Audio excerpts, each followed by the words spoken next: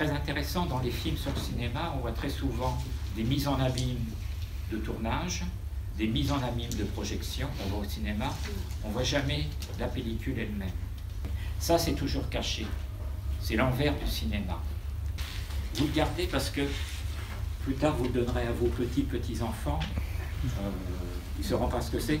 Imaginez, vous avez un, archéologue dans mille ans, il trouve ça. qu'est-ce qu'il faisait avec ça N'oubliez pas que pour que ça soit en quelque sorte manifesté réellement, il faut la machine. S'il n'y a pas de machine, la pellicule. Sauf que cette pellicule, malgré tout, elle peut être un support physique en elle-même. Il y a des peintres qui ont peint dessus.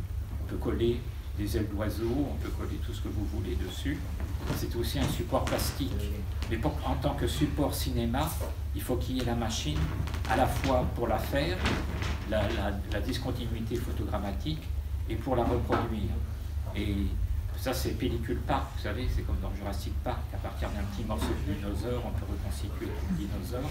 Peut-être qu'on pourra reconstituer ce qu'est notre société. On est en train de, de quitter ce monde, hein, bien sûr. C'est un monde matériel, pelliculaire, organique. C'est quelque chose qui bouge, qui est vivant, dont les images sont en train de se transformer. Et ça, c'est en train d'être transféré. Là, vous avez les deux bouts de la chaîne. Notre histoire, elle a commencé ici et elle finit ici.